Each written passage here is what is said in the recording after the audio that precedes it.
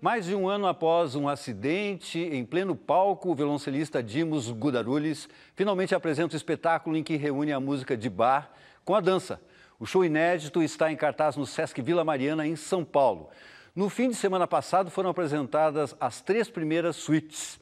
No próximo serão a quarta, a quinta e a sexta. O Metrópolis conferiu o ensaio.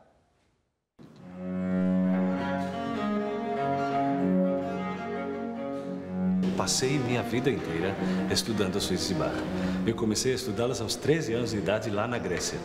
E agora estou com 43, faz as contas, faz 30 anos com esta obra que virou a minha obra da minha vida, digamos assim, o meu, a minha Bíblia, né?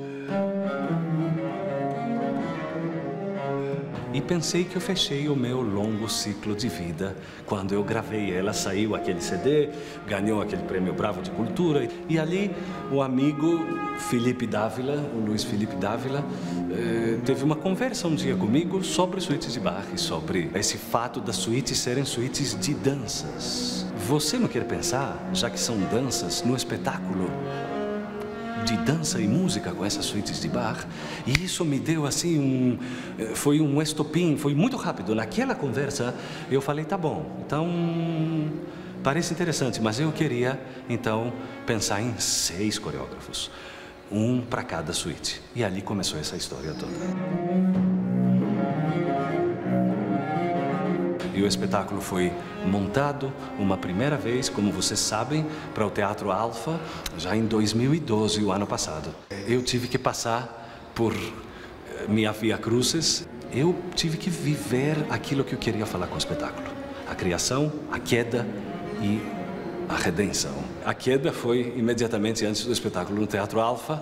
Eu tive aquele meu drama pessoal de cair no fosso, fraturar o punho e parar durante meses e meses. E depois, aos poucos, eu descobri com muita assim alegria que eu conseguia tocar violoncelo, mesmo na hora que eu não conseguia ainda levantar um copo, tomar água, eh, fechar os meus botões, não conseguia fazer nada, mas eu consegui pegar o arco e tocar bar. Isso foi muito forte. Depois foi um, um longo caminho de recuperação, de fisioterapia. Instintivamente eu tinha na minha cabeça já imagens poéticas, simbolismos.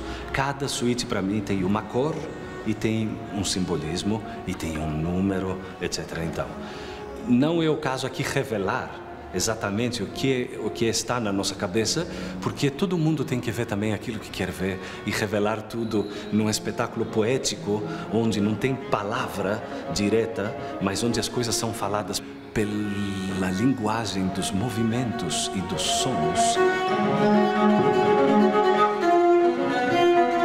Quando a gente foi conversando, é, ele me trouxe muitas imagens da, de como o bar que ele pensava também para escrever, para fazer as músicas e isso foi me influenciando. E essa primeira suíte, quando ele me fala dessa criação do universo, isso me movimentou para criar o, essa coreografia.